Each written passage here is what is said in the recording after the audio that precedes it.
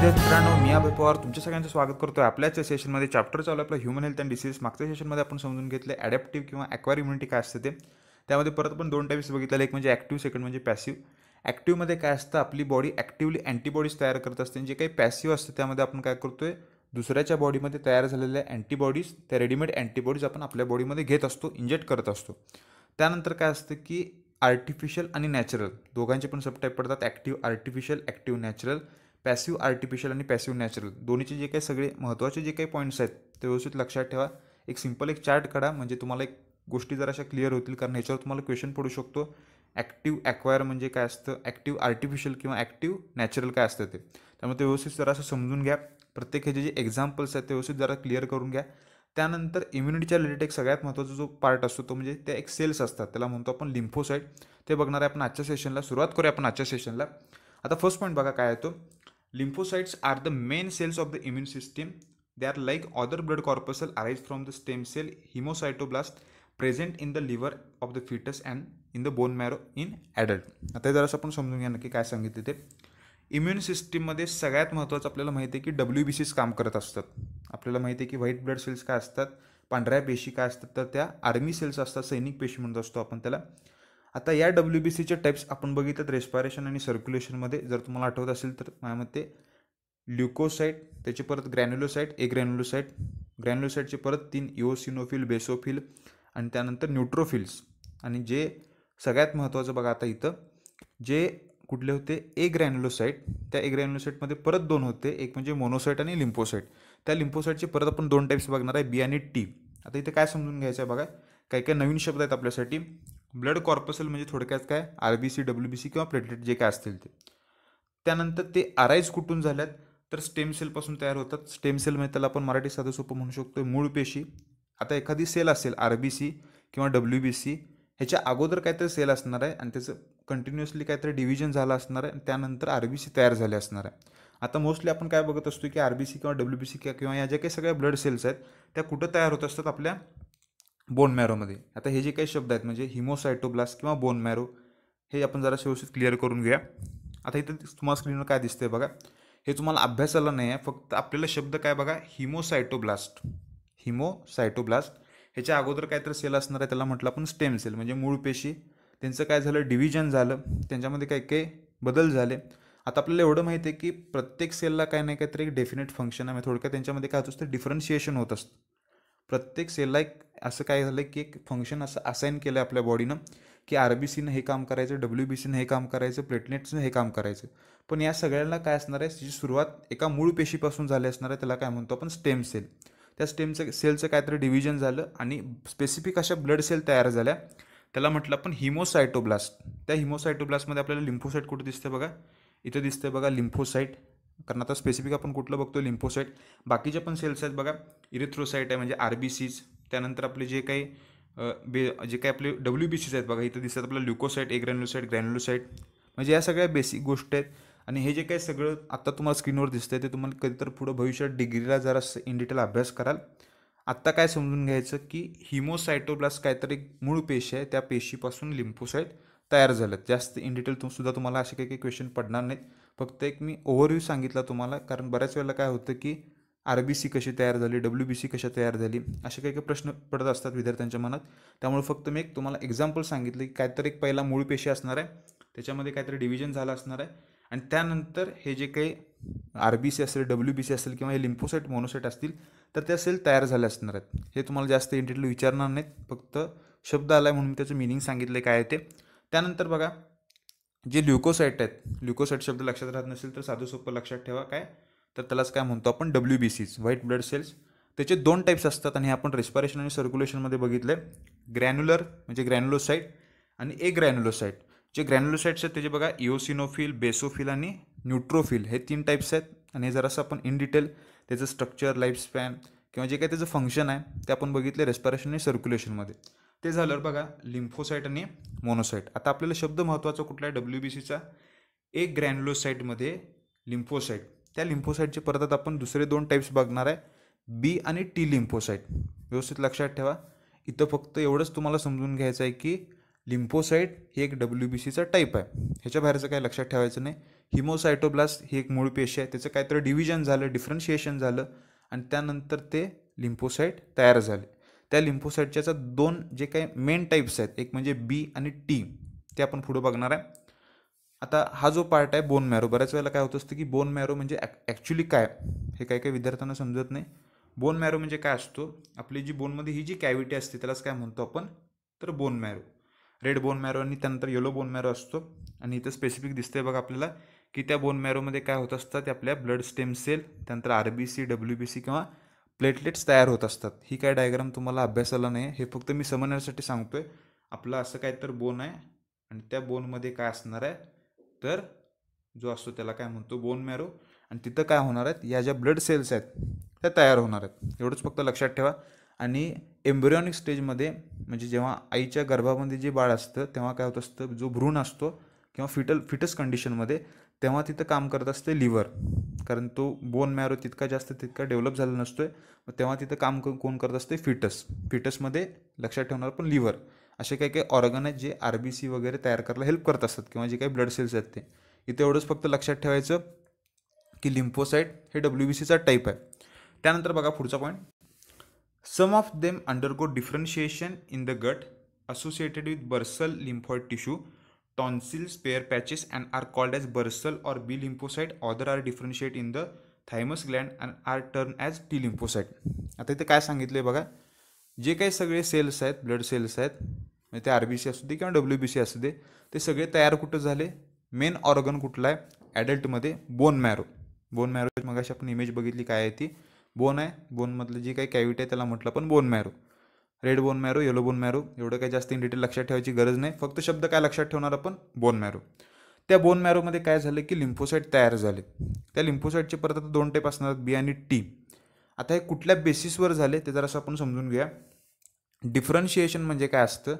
तर एखाद्या सेलला जेव्हा प्रॉपर फंक्शन एखादं काहीतरी काम सांगितलं जातं तेव्हा त्याला म्हणायचं डिफरन्शिएशन सुरुवातीला त्यांना असं काही प्रॉपर फंक्शन नसणार आहे.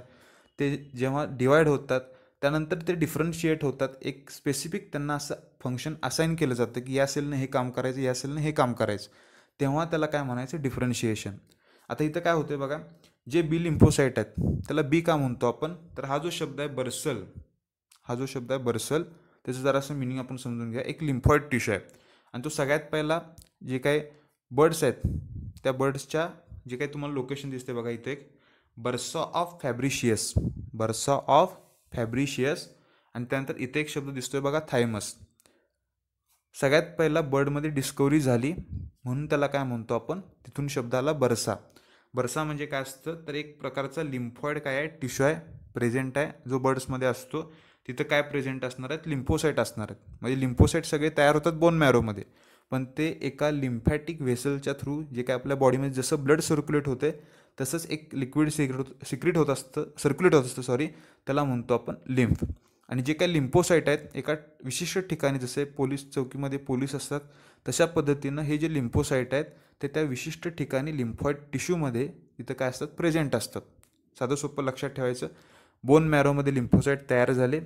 त्यानंतर ते मॅच्युअर हे जर टीमध्ये थायमसमध्ये झाले तर त्याला काय म्हणायचं? टी लिम्फोसाईट आता बऱ्याच वेळेला काय होत असतो की क्वेश्चन तुम्हाला विचारला जातो टी लिम्फोसाईट हे मॅच्युअर कुठं होत असतात? मग तिथं तुम्हाला बऱ्याच पद्धतीच्या ग्लँड्स असतात. त्यामध्ये एक असते थायमस ग्लँड त्यानंतर असतो थायरॉईड ग्लँड आणि हे जरा नीट सी ई टीच्या पॉईंट ऑफ व्ह्यूनं महत्त्वाचे एम सी क्यूचे क्वेश्चन्स आहेत. व्यवस्थित नोट डाऊन करून घ्या. T lymphocyte mature in thymus gland एवढंच फक्त लक्षात ठेवायचं साधं सोपं आहे. T lymphocyte mature in thymus gland thyroid ग्लँडसुद्धा आपल्यामध्ये प्रेझेंट असते. नेक रिजनमध्ये आपण कंट्रोल अँड कॉर्डिनेशनमध्ये बघितलं. आहे व्यवस्थित जरा लक्षात ठेवायचं. जर तुम्हाला क्वेश्चन विचारला टी लिम्फोसाईट कुठल्या ग्लँडमध्ये मॅच्युअर होतात? तर त्याचा आन्सर काय असणार आहे? थायमस आपल्याकडे सुद्धा थायमस ग्लँड आहे. जे आपलं हार्ट आहे त्याच्याबरोबर तिथं काय प्रेझेंट असते? थायमस ग्लँड थायमस आणि थायरॉईड दोन्हीमध्ये फरक आहे. काही काही जण टीला टी लॉजिक लावत असतात. आणि तिथं थायरॉईड हे आन्सर देतात. त्यामुळे ते जरासं माहीत पाहिजे आपल्याला. आन्सर काय असणार आहे? टी लिम्फोसाईटचं कुठं मॅच्युअर होतं? तर थायमस या ग्लँडमध्ये त्यानंतर बर्स ऑफ फॅब्रिशियस समजलं आपल्याला काय ते? तुम्हाला जास्त काय इन डिटेल विचारणार नाहीत. बर्ड वगैरे काय असं तुम्हाला काय रेफरन्स नाही आहे. फक्त बी लिम्फोसाईटला बी लिम्फोसाईट का म्हणायचं? कारण बर्ड्समध्ये पहिला डिस्कवरी झाली. कुठल्या रिजनमध्ये बर्स ऑफ फॅब्रिशियसमध्ये त्याचं काय झाली? डिस्कवरी झाली. म्हणून त्याला म्हणतो आपण बी लिम्फोसाईट काही काही पुस्तकात असं सुद्धा लिहिलं आहे की ते बोन मॅरोमध्ये मॅच्युअर होतात म्हणून त्याला म्हणायचं बी लिम्पोसाईट पण तुम्हाला ह्याच्यावर एकच क्वेश्चन पडू शकतो आहे टी लिम्पोसाईट मॅच्युअर कुठं होतात? आन्सर काय असणार आहे त्याचं? थायमस ग्लॅन त्यानंतर बघा काय पॉईंट आहे तो. बी आर आणि टी आपल्याला दोन्ही पण कळाले. म्हणजे लिम्पोसाईटचे टाईप्स म्हणजे पहिला डब्ल्यू बी सीमध्ये आपण काय बघितलं? ए ग्रॅन्युलोसाईट ग्रॅन्युलोसाईट ए ग्रॅन्युलोसाईटमध्ये परत लिम्फोसाईट आणि मोनोसाईट त्या लिम्फोसाईटचे परत दोन टाईप्स आहेत बी आणि टी बी कुठं मॅच्युअर होतात? तर बोन मॅरोमध्येच मॅच्युअर होतात. टी कुठं मॅच्युअर होतात जो जास्त क्वेश्चन विचारला जातो तर ग्लँडचं नाव लक्षात ठेवणार आपण. काय आता? थायमस ग्लँड त्यानंतर बघा the mature lymphocyte pass into the body fluid blood and lymph and circulate in the body पुढचा पॉईंट बघूया आपण आता. काही काही जे ऑर्गन्स आहेत लिम्फॉइड ऑर्गन ते आपण बघूया कुठले कुठले आहेत ते. आपल्याला एक बेसिक शब्द जात असतो बघा टॉन्सिल्स बऱ्याच वेळेला ऑपरेशन होत असतं टॉन्सिल्स जर त्यामध्ये इन्फेक्शन झालं तर. इथंसुद्धा काय प्रेझेंट आहेत बघा तर लिम्फोसाईट प्रेझेंट असतात. जर एखादा पॅथोजन आपल्या ओरल जो काही पाथ आहे त्याच्या थ्रू जर एंटर करायला लागला तर त्याला किल करायचं काम कोण करत असतात? तर हे लिम्फोसाईट जे प्रेझेंट आहेत आपल्या टॉन्सिल्समध्ये त्यानंतर बघा प्रायमरी जे काही ऑर्गन्स आहेत ते आहेत थायमस आणि bone marrow red red bone marrow specific लक्षात ठेवा. आणि जे सेकंडरी आहेत ते नेक रिजनमध्ये आपले लिम्फ नोड्स आहेत. त्यानंतर आर्म पिटमध्ये त्यानंतर स्प्लिनमध्ये पेअर्स पॅच आता पुस्तकात फक्त आपला शब्द आला आहे पेअर्स पॅच पण बाकीचे पण काही काही लिम्फॉइड ऑर्गन्स आहेत जसं स्प्लिन आहे किंवा हे जे काही ग्रॉईन आहे असे काही काही रिजन्स आहेत. पण ते तुम्हाला जास्त काही इन डिटेल विचारत नाहीत. फक्त सिम्पलमध्ये जे काही पॉईंट्स फक्त स्टेटवूडमध्ये मेन्शन केलं त्याचं फक्त मी मिनी सांगतो काय तुम्हाला. पेअर्स पॅच कुठं असतात? जे काय आपलं स्मॉल इंटेस्टाईन आहे तिथं प्रेझेंट असतात पेअर्स पॅच एवढंच फक्त लक्षात ठेवा. त्यानंतर पुढचा पॉईंट बघा. Many of them stay in the lymph nodes काही काही लिम्फ नोडमध्ये तसेच राहतात. आता स्पेसिफिक आपण काय बघतो बी आणि T लिम्फोसाईटचं B lymphocyte and T lymphocyte forms humoral or antibody mediated immune system आणि त्याला काय म्हटलं? A M I S and cell mediated immune system आता हे जरासं मिनिंग समजून घ्या. अँटीबॉडी आणि दुसरं काय? सेल मेडिएटेड ह्याचं मिनिंग पहिला आपल्याला क्लिअर असू दे. कारण तुम्हाला ह्याच्यावरचे दोन एम सी क्यूचे क्वेश्चन पडू शकतात. अँटीबॉडी किंवा ह्युमोरल जास्त करून शब्द असतोय बघा एम सी क्यूला सी ई टी असू दे किंवा नीट असू दे. ह्युमोरल मेडिएटेड इम्युन सिस्टीममध्ये कुठले लिम्फोसाईट काम करत असतात? तर एक लक्षात ठेवायचं व्यवस्थित त्याचा आन्सर असणार आहे बी लिम्फोसाईट त्याचा आन्सर काय असणार आहे? बी लिम्फोसाईट जर तुम्हाला क्वेश्चन विचारला सेल मेडिएटेडमध्ये कोण आहे? मेडिएटेड त्यामध्ये असणार आहे टी लिम्फोसाईट सेल म्हटले की लक्षात ठेवायचं टी आणि जर तुम्हाला ह्युमोरल विचारलं तर त्याचा आन्सर काय असणार आहे? तर बी लिम्फोसाईट जरासं मी इन डिटेल एक्सप्लेनेशन करतो याचं नक्की काय आहे ते. आता जे बी लिम्फोसाईट असतात ते काय तयार करत असतात? तर अँटीबॉडीज तयार करत असतात. एवढंच फक्त लक्षात ठेवा. बी लिम्फोसाईट काहीतरी सेल आहे ती काय तयार करते? अँटीबॉडी तयार करते. आता अँटीबॉडी तयार करत असतात मग ते अँटीबॉडी कुठं असणार आहेत? तर ते प्लाझ्मामध्ये असणार आहेत. मग थोडक्यात कुठं असणार आहेत? ब्लडमध्ये असणार आहेत. मग ते सगळ्या ब्लडमध्ये काय होत असतात सर्क्युलेट होत असतात. कोण? तर बी लिम्फोसाईट किंवा त्याचे जे काही तयार केलेले अँटीबॉडीज आहेत. मग आता इथं काय समजून घ्यायचं आहे बघा? ब्लड सुरुवातीला आपण बघितलं बघा ह्युमन हेल्थ अँड डिसिजेसमध्ये ब्लड हा सुद्धा एक प्रकारचा काय ह्युमर आहे. आणि ह्युमर म्हणजे काय असतं? जे काय आपले बॉडी फ्लुइड्स आहेत.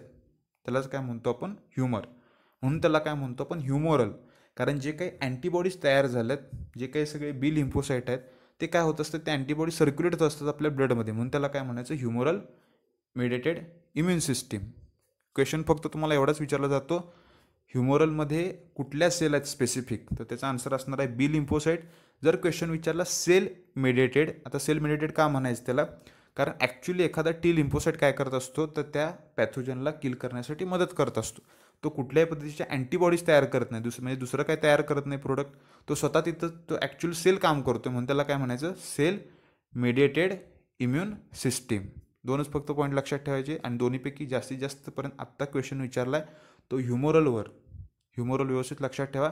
Humoral mediated immune system answer काय असणार आहे तिथं? काम कोण करतं बी लिम्फोसाईट सेल म्हटलं की डोक्यात आलं पाहिजे टी लिम्फोसाईट त्यानंतर बघा. Both immune system need antigen to come into the action but they respond in different ways आता एक शब्द काय आला बघा?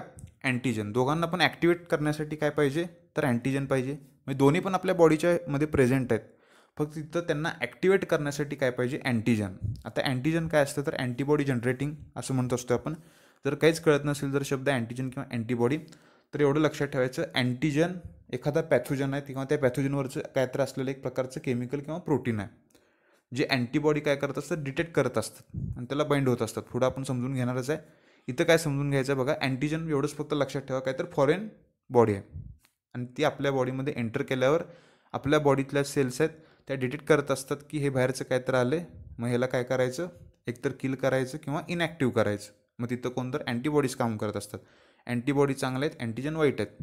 त्यानंतर बघा हे जी काय सगळे लिम्पोसाईटची जी काय आर्मी आहे डब्ल्यू बी सीचे जे काही सगळे सेल्स आहेत त्याला आपण आर्मी सेल म्हणत असतो. का म्हणत असतो ते पहिला समजून घ्यायचं.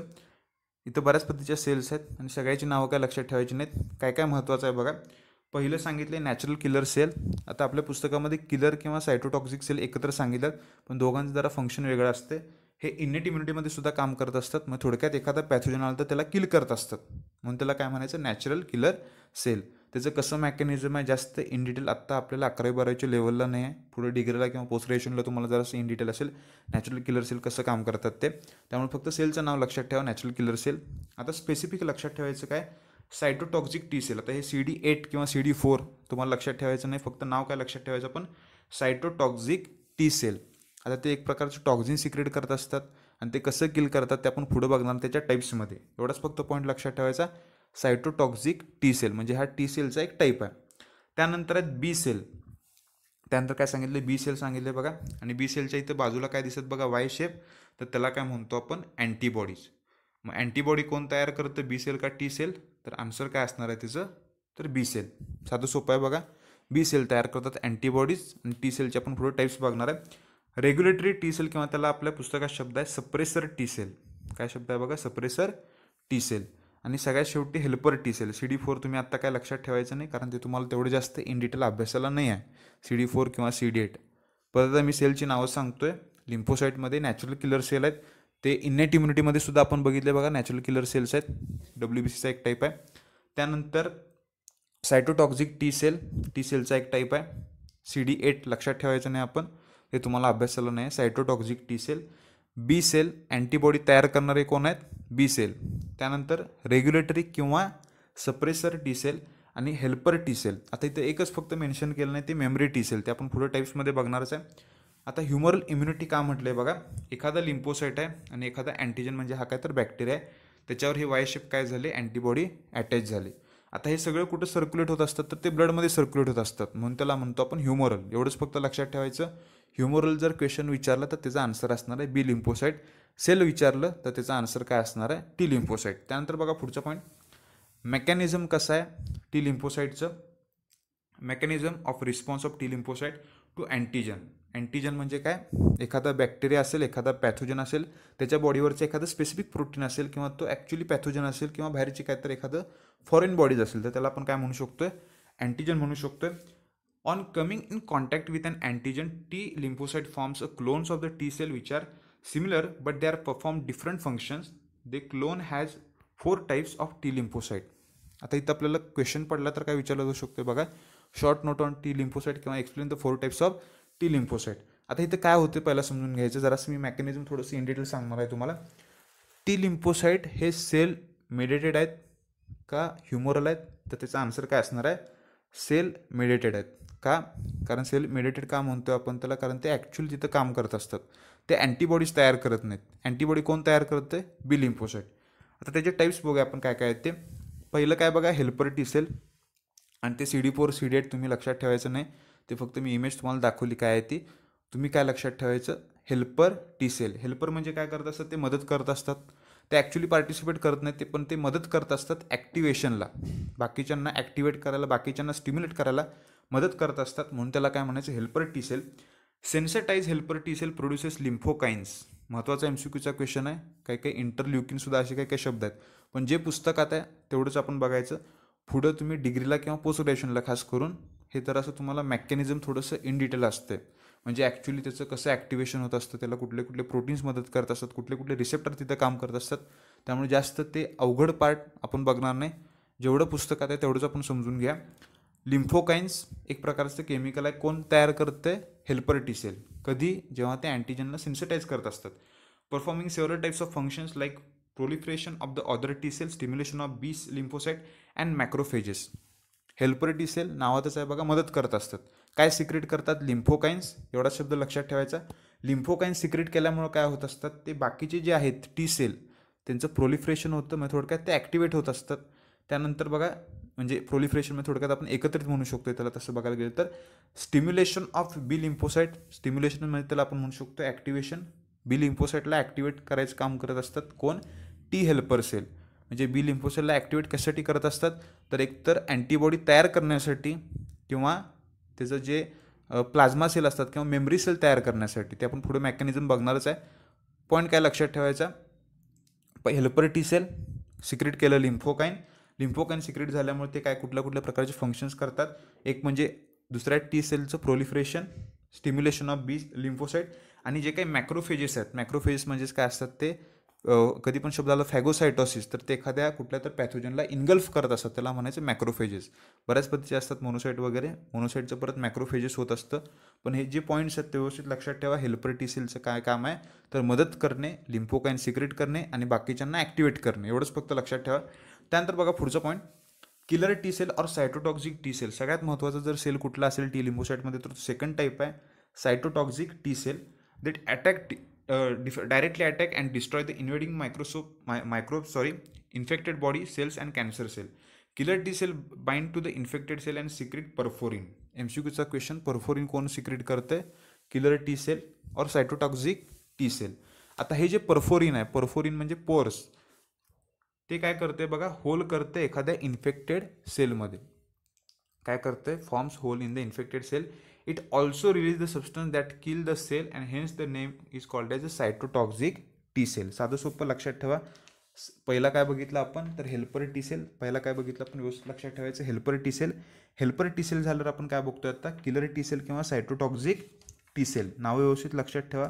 फार अवघड नाही आहेत. आणि त्यानंतर आपण सप्रेसर टी सेल आणि काय बघणार आहे? मेमरी सेल परत एकदा मी आणखीनदा रिवाईज करतोय बघा. सायटोटॉक्झिक सेल काय करतात? डायरेक्ट एखाद्या फॉरेन सेलवर अटॅक करत असतात. एन्झाईम कुठलं सिक्रेट करतात? एन्झाईमचं नाव लक्षात ठेवायचं परफोरिन.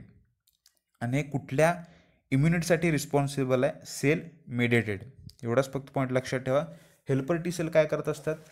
ते रेग्युलेशन करत असतात थोडक्यात. कशाचं? इम्युनिटीचं. काय सिक्रेट करतात? लिम्फोकाईन. दोन व्यवस्थित शब्द लक्षात ठेवायचे. Helper T cell secrete. Lymphokine. Cytotoxic T cell secrete. काय? तर नाव व्यवस्थित लक्षात ठेवायचं. त्याचं काय? परफोरिन. बऱ्याच वेळेला क्वेश्चन पडला हा परफोरिन कुठल्या टाईपचे टी सेल सिक्रेट करत असतात. त्यामुळे एम सी क्यूचा क्वेश्चन व्यवस्थित लक्षात ठेवा. आणि ते बाकीच्यांना स्टिम्युलेट करत असतात. म्हणजे थोडक्यात बिल इम्पोसाईटला अँटीबॉडी सिम तयार करण्यासाठी स्टिम्युलेट करत असतात.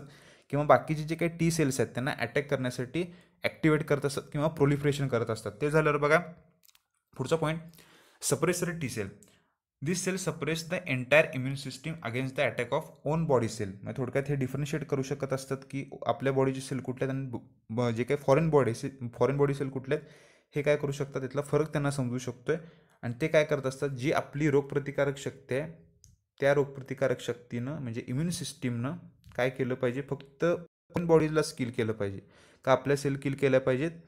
तर आपल्या सेल किल केला नाही पाहिजेत फक्त एखादा बाहेरचा जर कुठला सेल आला तर त्याला किल केलं पाहिजे. आणि दोघांच्यातला फरक समजण्यासाठी कोण काम करते ते सप्रेसर म्हणजे ते थोडक्यात सप्रेस करते म्हणजेच काय करते त्यांना? त्यांचं जे थोडक्यात जे एखादे ॲक्टिव्ह झाले असतील तर त्यांना इनॲक्टिव्ह करायचं काम करत असतं. कारण जे बी सेल आहेत किंवा टी हेल्पर सेल आहेत ते व्यवस्थित लक्षात ठेवायचं. बी सेल किंवा टी हेल्पर सेल हे कायम ॲक्टिवेट फॉर्ममध्ये नसणार आहेत. त्यांना ॲक्टिवेशनची गरज असणार आहे. पण ते ॲक्टिव्ह झाल्यावर परत त्याला इनॲक्टिव्ह करण्याचं किंवा सप्रेस करायचं काम कोण करतं आहे तर हे सेल करत असतात सप्रेसर टी सेल किंवा त्याला रेग्युलेटरी टी सेल म्हणतो आपण. पण पुस्तकात आपला शब्द काय? सप्रेसर टी सेल तेवढंच आपण लक्षात ठेवूया. आणि काही काही पुस्तकामध्ये सांगितलं की ते prevent attack on self cell त्यामुळे दोन्ही पण पॉईंट व्यवस्थित लक्षात ठेवा. आणि लास्ट काय बघा? Memory T cell these are previously sensitize cells which retain the sensitization memory for the long time in the future थोडक्यात हे काय काम करत असतात? एखादा जर कुठल्या तर एखाद्या स्पेसिफिक अशा लिम्फॉइड ऑर्गनमध्ये तसे राहत असतात. आणि जेव्हा गरज असेल एखादा पॅथोजन अटॅक करत असतो बॉडीवर तेव्हा ते काय करत असतात? तर ते मदत करत असतात. आता इथे मेमरी सेलमध्ये काय लक्षात ठेवायचं बघा. मेमरी सेल काय करत असतात? जर एखादा पॅथोजन आपल्या बॉडीमध्ये एंटर केला त्यातलं प्रोटीन वगैरे सगळे व्यवस्थित समजून घेतात. अँटीजन कुठल्या पद्धतीचं ते सगळं समजून घेतात. आणि त्यानंतर ते लक्षात ठेवत असतात की असा अँटीजन आहे मग अँटीबॉडी कसे तयार केले पाहिजेत? मग जेव्हा तोच पॅथोजन परत आपल्या बॉडीमध्ये एंटर करतो तेव्हा लगेच काय होत असते? तर ही जी काही सेल्स आहेत मेमरी सेल ॲक्टिवेट होत असतात आणि लगेच अँटीबॉडी तयार करत असतात. एकदम फास्ट काय होत असतो? इम्युन रिस्पॉन्स जनरेट होत असतो. जरासं काही काही गोष्टी कॉम्प्लिकेटेड आहेत पण मी जरासे कॉमन एक्झाम्पल सांगतो. जर एक आपण जे काही काही रोग बघत असतो जे आपल्याला एकदाच होत असतात. जे वाराफोडे आपण मगाश अगोदर एक्झाम्पल बघितलेलं मागच्या एका लेक्चरमध्ये त्यामध्ये आपण काय बघितलेलं? व्हायरस येतो बॉडीमध्ये एंटर करतो. आपली बॉडी काय करते? अँटीबॉडीज तयार करते. पण जेव्हा व्हायरस पहिल्यांदा येतो तेव्हा सिमटम दिसून येतात. आणि जेव्हा तोच व्हायरस आपल्या बॉडीमध्ये परत एंटर केल्यावर आपली बॉडी काय होते? आपल्या बॉडीला आपण शिकवलेलं असतं की हा व्हायरस जर आला तर अँटीबॉडी कसे तयार करायची? मग हे लक्षात कोण ठेवते मेमरी टी सेल एवढंच फक्त लक्षात ठेवा. त्यानंतर बघा पुढचा पॉईंट आता इथं मी जे काही मेकॅनिझम सांगतो ते पुस्तकात आपल्या मेन्शन केलं नाही. म्हणजे टी हेल्पर सेल कसे ॲक्टिवेट वगैरे होतात ते. आता एखादं जर अँटीजन प्रेझेंटिंग सेल असेल डेंड्रायटिक सेल असेल तर ते काय करत असतात? अँटीजन प्रेझेंटिंग सेल त्या शब्दातच मिनिंग आहे बघा. ज्याच्याकडे अँटीजन प्रेझेंट आहे किंवा अँटीजनचा कुठला तर एखादा पार्ट आहे त्याला अँटीजन प्रेझेंटिंग सेल म्हणायचं. आता कुठल्या कुठल्या सेल असतात? एक म्हणजे डेंड्रायटिक सेल असतात. एक त्यातलंच एक्झाम्पल लक्षात ठेवा. बी लिम्फोसाईटसुद्धा आहेत. मग आता इथं काय होते बघा? पॅथोजन काय तर आला तर हे जे सेल्स आहेत त्याला ते काय करून करत इनगल्फ करत असतात. इनगल्फ केल्यावर काय करत असतात? ते त्याला बारीक बारीक तुकड्यांमध्ये तोडत असतात. आणि बारीक बारीक तुकड्यामध्ये तो तोडल्यावर ते काय करत असतात त्याचा जो अँटीजन आहे सपोज कन्सिडर करा हा काय तर आहे पॅथोजन त्याला त्यांनी काय केलं इनगल्फ केलं आपल्या बॉडीमध्ये घेतलं. बॉडीमध्ये घेतल्यावर ते काय करतात बघा तर त्यांच्या मेम्ब्रेनवर अशा पद्धतीनं ते अँटीजन शो करत असतात. काय करत असतात तो अँटीजन शो करत असतात. त्याचं ब्रेकडाऊन करतात सगळ्या त्या ह्याचं. आणि तो अँटीजन त्यांच्या सेल मेंबर शो करत असतात. म्हणजे कुठल्या दुसऱ्या सेलला व्यवस्थित समजून घ्या. अँटीजन प्रेझेंटिंग सेल आहे. ते बी लिम्फोसाईट असेल किंवा कुठले डेंड्रायटिक सेल असेल किंवा मॅक्रोफेजेस असतील त्यांनी काय केलं? एखादा व्हायरस आला त्याला काय केलं? ख इनगल्फ केलं. सगळ्या बाजूनं कवर केलं. त्याचे बारके बारके तुकडे केले. बारके बारके तुकडे केल्यावर त्यात काय असणार आहे? अँटीजन असणार आहे. काय असणार आहे? अँटीजन असणार आहे. अँटीजनमध्ये थोडक्यात कुठलं तर त्याचं एखादं प्रोटीनचा पार्ट असेल किंवा काहीतरी केमिकल असेल. ते केमिकल ते घेत असतात आणि एक M H M S C class two complex म्हणजे एक प्रकारचं स्ट्रक्चर तयार करतात. त्याला major histocompatibility histocompatibility complex म्हणायचं. पण तेवढं काय तुम्हाला जास्त काही नीटली विचारत नाही फक्त काय समजून घ्यायचं बघा मी आणखीनदा रिपीट करतो आहे पॅथोजन आला नाही थोडक्यात अँटीजन आला. बॉडीमध्ये ह्यानं काय केलं? इनगल्फ करून घेतलं. कोण इनगल्फ करून घेतलं? या अँटीजन प्रेझेंटिंग सेलनं म्हणजे त्याला शॉर्टमध्ये म्हणायचं A P C antigen presenting cell एक बी लिम्फोसाईट त्यातलं एक एक्झाम्पल लक्षात ठेवा. मग इथं बी लिम्फोसाईट काय काम करते किंवा डेंड्रायटिक सेल काय काम करत? असतात तीन प्रकारचे असतात antibodies antibody antigen presenting cell इथं डेंड्रायटिक सेल एकतर असतील किंवा बी लिम्फोसाईट असतील किंवा मॅक्रोफेजेस असतील. पण आता इथं तुम्ही बी लिम्फोसाईट जरा कॉमन एक्झाम्पल कन्सिडर करा. मग ते काय करतात? अँटीजन दिसला की त्याला इनगल्फ करून घेतात सगळ्या बाजून त्याला काय करतात? आत गिळून टाकतात. गिळून टाकल्यावर त्याचे बारके बारके तुकडे करतात आणि जो अँटीजन आहे तो त्यांच्या अशा मेम्ब्रेनवर सेल मेम्ब्रेनवर काय करतात? शोकेस करत असतात. मग दुसऱ्या बाकीचे जे सेल्स आहेत त्यांना दाखवत असतात की असा अँटीजन आहे तर तुम्हाला अँटीबॉडी तयार करायचे आहेत. म्हणजे बाकीच्यांना ॲक्टिवेट करायचं काम कोण करतं? हे अँटीजन प्रेझेंटिंग सेल कसे ॲक्टिवेट करत असतात बघा? सगळ्यात पहिला हे जे सेल्स आहेत अँटीजन प्रेझेंटिंग सेल ते शोकेस करणार आहेत. काय शोकेस करणार आहेत? हा काय तर अँटीजन आहे. कुणाला सगळ्यात पहिला? टी हेल्पर सेलला टी हेल्पर सेलनं काय केलं? सेन्सिटाईज केलं. बी सेलमधला किंवा एखाद्या अँटीजन प्रेझेंटिंग सेलमधला अँटीजन आहे हे सेन्सिटाईज केलं आणि परत त्या सेलनं काय केलं? ॲक्टिवेट केलं. कुणाला कुणाला केलं? बघा इथं आता एक तर त्यानं त्यामध्ये आता परत टाईप पडत असतात helper helper helper cell first helper cell second आणि एवढंच फक्त लक्षात ठेवा पहिल्यांदा अँटीजन आला अँटीजन प्रेझेंटिंग सेलने तो इन्गल्फ केला त्याचे तुकडे केले. मी आणखीनदा सारखं सारखं रिपीट करतोय कारण हे मेकॅनिझम जास्त इन डिटेल तुम्हाला नाही आहे. वरवरच्या गोष्टी आहेत आणि त्यामुळे ते व्यवस्थित क्लिअर होत नाही. मी सगळ्या गोष्टी परत एकदा रिपीट करतो व्यवस्थित समजून घ्या. एखादा काहीतरी झालं बघा. मी तर ड्रॉ करतो आणखीन एकदा परत.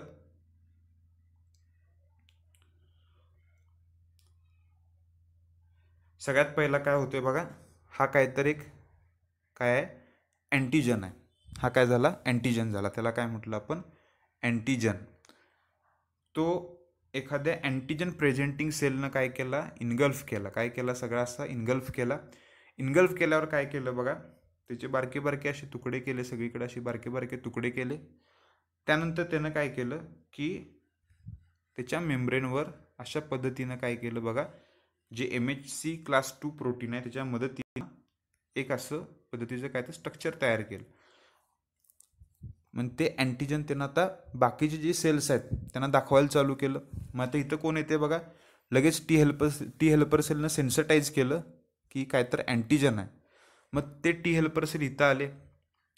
त्याला असे अटॅच झाले टी हेल्पर सेल अटॅच झाले बघा इथं टी हेल्पर सेल काय झाले? असे अटॅच झाले.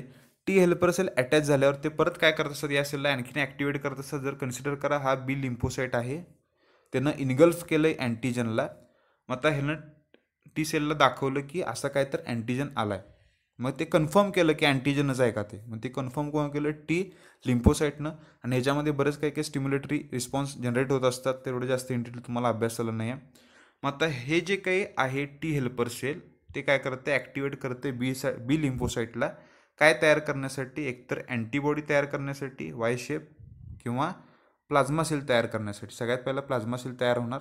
त्यानंतर काय तयार होणार आहेत? अँटीबॉडी तयार होणार आहेत. काही काही वेळेला ते काय सांगत असतात की मेमरी टी सेल तयार करा म्हणून. काही काहीच्या मेमरी टी सेल तयार होतात.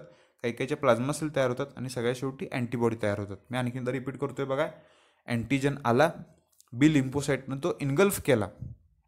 बी लिम्पोसाईट एक डे एक काय आहे? अँटीजन प्रेझेंटिंग सेलचा एक टाईप आहे म्हणूया आपण. बी लिम्पोसाईटनं सगळा तो गिळला त्याचे बारके बारके तुकडे केले. आणि त्यातला जो अँटीजनचा पार्ट आहे प्रोटीन आहे जे काही केमिकल आहे ते दाखवायला चालू केलं त्याच्या सरफेसवर त्याच्या मेम्ब्रेनवर ते बघितलं कोण? टी लिम्फोसाईटनं टी लिम्फो सॉरी तर टी हेल्पर सेलनं टी हेल्पर सेलनं काय केलं? सेन्सटाईज केलं की अँटीजन आहे म्हणून. मग ते कन्फर्म केलं की हा अँटीजनच आहे आणि आता काय तर ॲक्टिवेट केलं पाहिजे. हेल्पर सेल काय करतो? आपण बघितलं फंक्शन बाकीच्यांना काय करतो? सगळ्यांना ॲक्टिवेट करत असतो. बी लिम्फोसाईटला सुद्धा त्याने ॲक्टिवेट केलं तर बाकीचे जे टी लिम्फोसाईट आहेत त्यांना सुद्धा ॲक्टिवेट केलं तर मॅक्रोफेजला सुद्धा ॲक्टिवेट केलं तर आता इथं काय झालं बघा? टी हेल्पर सेलनं कन्फर्म केलं की अँटीजन आहे. बाकीच्या सगळ्यांना ॲक्टिवेट केलं. अँटी जे काही बी लिम्फोसाईट आहेत त्याला सांगितलं की आता अँटीबॉडी तयार केल्या पाहिजेत म्हणून. मग बी लिम्फोसाईटनं काय केलं? प्लाझ्मा सेल तयार केलं मग अँटीबॉडीज तयार केल्या. काही काही मेमरी सेल सुद्धा तयार केल्या. कशासाठी? लक्षात ठेवण्यासाठी की अशा पद्धतीचा काहीतरी अँटीजन भविष्यात आला तर ते लक्षात राहिलं पाहिजे कशा पद्धतीचे अँटीबॉडी तयार करायचे साधं सोपं मेकॅनिझम आहे. त्यानंतर बघा. आणि एवढं जास्त इंटेल तुम्हाला मेकॅनिझम नाही. जेवढं फक्त पुस्तकात आहे तेवढेच पॉईंट बघा. Mechanism action of b lymphocyte to antigen. B lymphocytes are sensitized directly by the both antigen as well as by helper t cell. आता मी हेल्पर टी सेल कसं काय काय करत असतं ते मी सांगितलं म्हणजे ॲक्टिवेशन होतं आहे ते युजली इनॲक्टिव्ह फॉर्ममध्ये असतात. कारण त्यांना कामच नाही आता. ते काम कधी करणार आहेत? अँटीजन आल्यावर. म्हणजे बॉडीमध्ये एखादा काय तर फॉरेन पार्टिकल आला बाहेरच्या बॉडीचा कोणतर आत प्रवेश केला तरच तेव्हा ते ॲक्टिवेट होणार आहेत. आता इथे ॲक्टिवेट कसे होतात बघा? सेन्सिटाईज कसे होतात? अँटीजन आल्यावर आणि हेल्पर टी सेलच्या मदतीनं. Activated B lymphocyte multiplies very fast and produces clone of plasma cell मग त्यांचं काय होतं मल्टिप्लिकेशन होतं आणि ते काय तयार करतात? प्लाझ्मा सेल आता प्लाझ्मा सेल म्हणजे समजून घ्यायचं हा काय तर आहे त्याला म्हटलं आपण बी सेल आणि हा जरासा काय तर मोठा झाला त्याला काय म्हटलं आपण? प्लाझ्मा सेल जास्त इन डिटेल तुम्हाला आत्ता अभ्यासाला नाही फक्त काय काय स्टेप्स आहेत लक्षात ठेवायचं. अँटीजन आला बी लिम्फोसाईट आणि जे काही टी हेल्पर सेल आहेत म्हणजे टी हेल्पर सेलमुळेच ॲक्च्युली ते बी लिम्फोसाईट काय होतात? ॲक्टिवेट होत असतात. काय तयार करण्यासाठी? तर प्लाझ्मा सेलचे वेगवेगळे क्लोन तयार करण्यासाठी कॉपीज तयार करण्यासाठी आणि काय होत असतात बघा? मेमरी सेल पण तयार करतात. मगाशी आपण बघितले बघा. आणि त्यानंतर सगळ्यात शेवटी काय तयार करणार आहेत ते? अँटीबॉडीज मी आणखी एकदा सगळं मॅकॅनिझम सांगतोय बघा. मगाशी जे बघितलं आपण टीचं बघितलं आता बघतोय स्पेसिफिक आपण बी लिम्फोसाईट कसे ॲक्टिवेट होतात. बी लिम्फोसाईट त्याच्यावर असं काय तर दिसणार आहे वाय शेप अँटीबॉडीज इथं काय आहे? अँटीजन आहे. ते तशा पद्धतीनं पण ॲक्टिवेट होतात. आणि कधी कधी काय होतं बघा ॲक्टिवेटेड बी लिम्फोसाईट इथं काय होतं बघा त्याला हेल्पर टी सेल मदत करतात. टी हेल्पर सेलसुद्धा सेन्सिटाईज करत असतात आणि परत ह्याला ॲक्टिवेट करत असतात. मग काय काय प्रोसेस होते मी आणखीनदा सांगतोय बघा. बी लिम्फोसाईट अँटीजन घेतो खातो गिळतो. त्याचे बारके बारके तुकडे करतो आणि असा अँटीजन दाखवतोय बघा सगळ्याला. M S C class two complex तयार करून. मग तो अँटीजन कोण बघितला? टी हेल्पर सेलनं बघितलं. परत टी हेल्पर सेलनं कन्फर्म केलं की हा अँटीजनच आहे. लगेच जे काही बिल लिम्फोसाईट ते ॲक्टिवेट झालं नाही. जोपर्यंत टी हेल्पर सेल सांगत नाही की आता काय तर करायचं आहे तोपर्यंत बी लिम्फोसाईट ॲक्टिवेट होणार नाहीत. मग टी हेल्पर सेल सांगतो आता ॲक्टिवेट हो. मग ॲक्टिवेट झाल्यावर काय होते बघा इथं ते मेमरी सेल तयार करतात प्लाझ्मा सेल तयार करतात आणि हे प्लाझ्मा सेल सगळ्यात शेवटी काय तयार करतात? असतात असे वाय शेप अँटीबॉडीज एवढं जास्त इंटिटल मेकॅनिझम लक्षात ठेवायची गरज नाही. फक्त समजून घ्यायचं. अँटीजन आला बी लिम्फोसाईट ॲक्टिवेट झाले प्लाझ्मा सेल मेमरी सेल तयार केले. प्लाझ्मा सेलनं अँटीबॉडीज तयार केले मेमरी सेलनं मेमरीमध्ये लक्षात ठेवलं. त्यानंतर बघा the plasma cell produces a specialized glycoprotein called as antibody plasma सेलनं काय केलं बघा एक ग्लायकोप्रोटीन तयार केलं. ग्लायकोप्रोटीन काय असतं? तुकडे करा त्याचे. एक म्हणजे असं त्यामध्ये ग्लायकोजन आणि दुसरं काय असतं? प्रोटीन आणि अकरावीला आपण बघितलं आहे बायोमॉलिक्युल्स त्यामध्ये आपण काय समजून घेतलेलं की प्रोटीन कॉम्प्लेक्स प्रोटीन असतील. म्हणजे प्रोटीनमध्ये माहिती आपल्याला अमानोशीटपासून ॲसिडपासून तयार होतात. ग्लायकोजन काय एक प्रकारचं कार्बोहायड्रेट आहे. कार्बोहायड्रेट आणि प्रोटीन एकत्र आले कॉम्प्लेक्स प्रोटीन तयार झालं ग्लायकोजन प्रोटीन एकत्र आले ग्लायकोप्रोटीन तयार झालं. Circulate throughout the body fluids humour like blood and lymph बॉडीमध्ये सर्क्युलेट होतं म्हणून त्याला काय म्हणतो आपण? Humoral the antibody molecules may be bind to the cell membrane or they remain free एकतर ते त्या सेल मेम्ब्रेनला बाइंड होतील. किंवा ते कम्प्लिटली ब्लडमध्ये काय होतील फ्रीली काय करतील मूव्ह करतील.